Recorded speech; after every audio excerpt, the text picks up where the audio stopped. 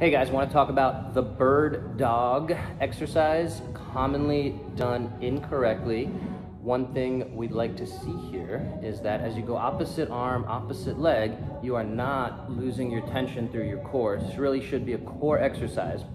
So as we go out, fist out as if you're flying like Superman, Wonder Woman, and this leg is out nice and strong and it doesn't move at all keeping that steady. So really holding strong for one big breath and then bring the elbow to the knee as best you can and then back out, hold strong, one big breath.